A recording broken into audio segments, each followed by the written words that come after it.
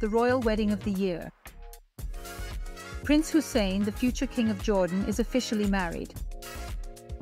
He exchanged vows with Saudi architect Rajwa Al Saif in a discreet ceremony following Islamic traditions.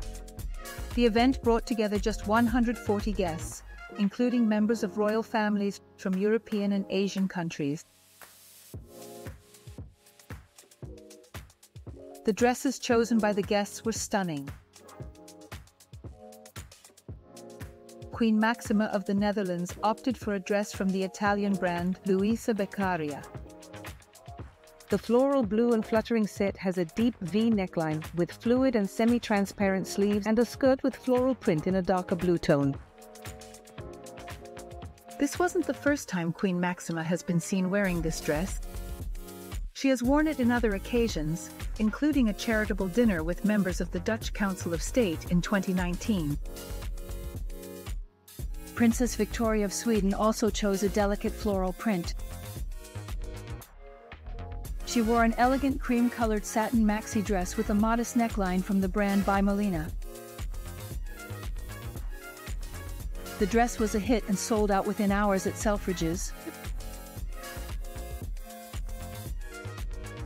Another piece that quickly disappeared from the stocks was the pale blue dress with layers of tulle ruffles worn by Princess Beatrice of York. The dress is part of the new collection from the brand Needle and Thread and was available at Harrods. Princess Beatrice added a personal touch to the look by swapping the original belt for a wider black belt.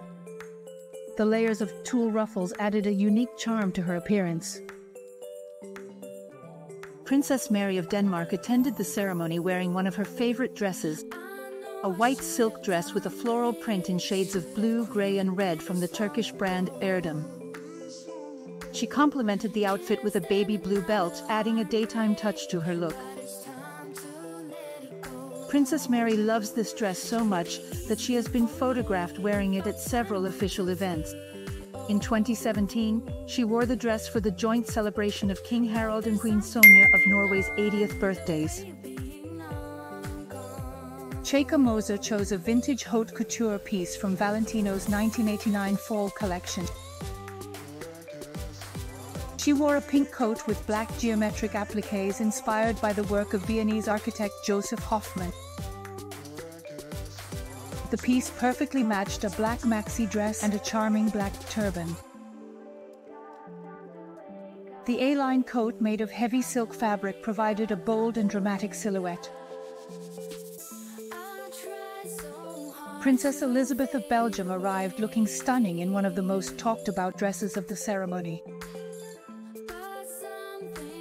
She wore a monochromatic fuchsia look from the Belgian brand Essentiel Antwerp.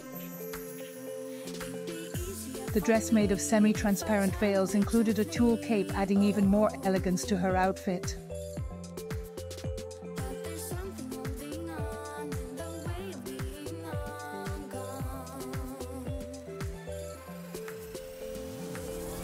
Princess Catherine of Wales decided to step out of her usual choice, the British brand Alexander McQueen, and opted for a creation by a Middle Eastern designer. She wore a pale pink high-neck maxi dress by Lebanese designer Elie Saab. To match the dress to the dress code of the ceremony, the model was slightly modified. The original belt was removed and the skirt received an opaque fabric reinforcement to avoid the transparency of the tulle present in the original model. Kate shone in this choice, which was one of the most glamorous party looks used by the princess.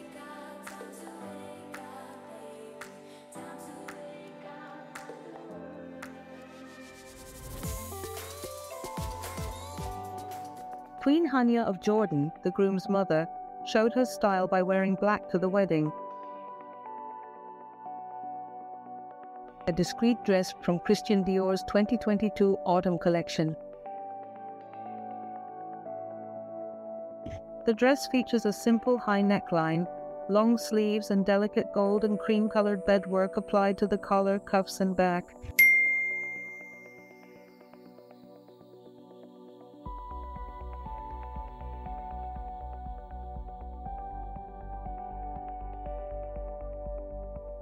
And finally, the bride.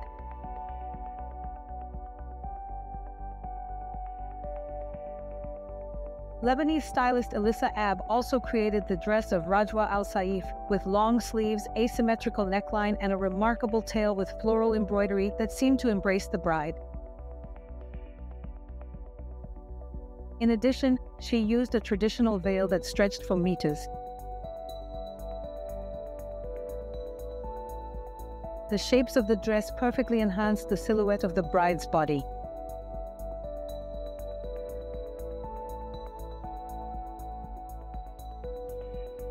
What was your favorite dress? Tell us in the comments.